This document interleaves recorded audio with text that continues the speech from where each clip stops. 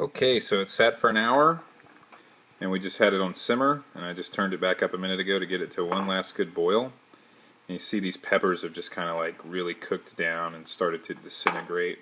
So you can just imagine all that goodness that's uh, that's in there. You can see that habanero is just all deteriorated.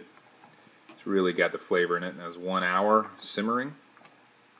You know, of course, you can use this your spoon or whatever you're stirring it with to kind of break those peppers up a little bit as you stir it. So we got that good boil right there. And now we're going to do our final rapid cooling. I'm going to start it in the fridge on the, uh, the metal part right there. And I'm going to stir it off real quick out here just to bring the temperature down a little bit.